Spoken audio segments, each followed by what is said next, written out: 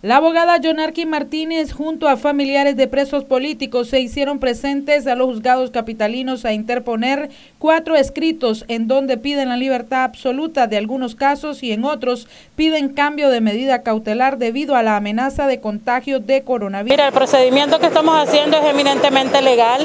Eh, tenemos asidero en cuanto de exigirle al gobierno eh, la libertad de cada uno de los presos políticos de manera individual, se está analizando cada caso, se está cumpliendo con lo que dice, lo que está estipulado en el caso de los que ya están condenados y son penas menores.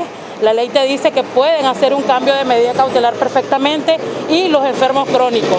Eh, estamos aparejando a los escritos eh, toda la documentación epicrisis de, de enfermos crónicos para así exigirle al juez que los deje en libertad porque si el COVID-19 entra al sistema penitenciario no solo va a fallecer los presos comunes, todos en general, los custodios y todos los que están dentro del sistema peligran, más aún los enfermos crónicos. En el sistema penitenciario hay hacinamiento.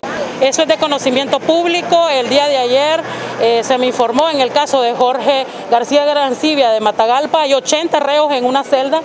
Eh, es demasiado hacinamiento, hay reos que están durmiendo en el piso con gripe, entonces eso eleva la enfermedad, eleva las posibilidades de contagio aún más rápido.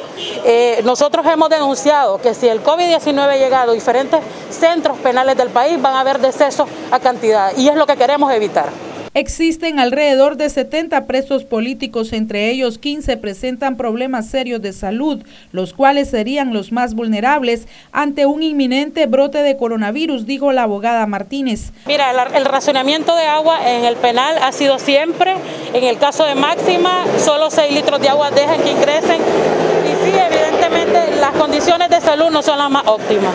Respecto a las condiciones o más bien la disposición de prestarle el servicio médico a los reos. Eh, ¿Qué tal esto? ¿Cómo va? Mira, nosotros hemos venido denunciando desde meses atrás que no se cumple con el derecho a la salud dentro de los penales, a pesar que nosotros venimos cumplidamente a solicitarle al juez que se le dé atención médica, no hacia el sistema penitenciario y los diferentes penales del país.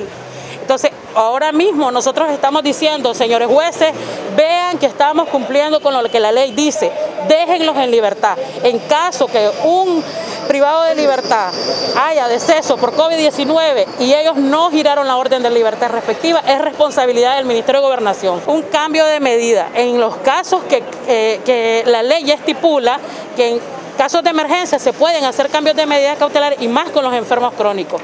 Eh, quiero hacer énfasis que nosotros también estamos haciendo eh, un acápite de mención a los jueces que vean lo que el, comunicado de la, de la OPS en donde dice el tratamiento a todos los privados de libertad, que se cumplan con esas medidas. Para Noticias 12, Castalia Zapata.